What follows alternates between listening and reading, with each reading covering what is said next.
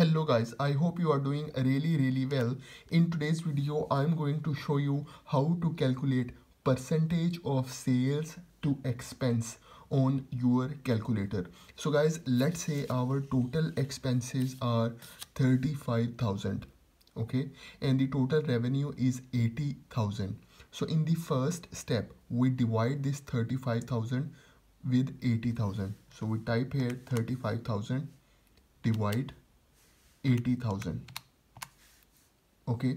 And then in the next step we multiply it with 100 okay? So multiply by 100 and then we uh, press the equal button.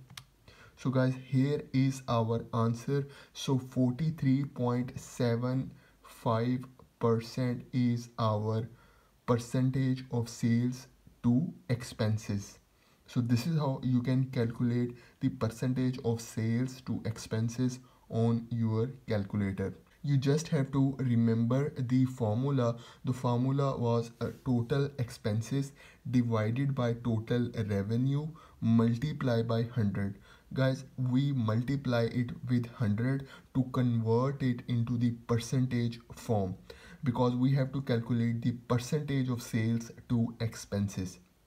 Okay so this is for today's video. I hope you like the video. I hope you enjoy the video. So please subscribe to my channel. Thank you very much